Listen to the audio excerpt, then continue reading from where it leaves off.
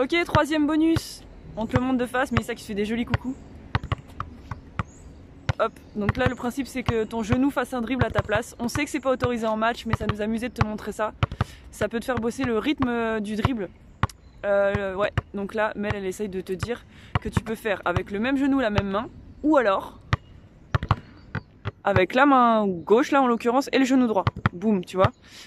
Ça peut être aussi euh, la même main, donc là elle te remontre de l'autre côté, super.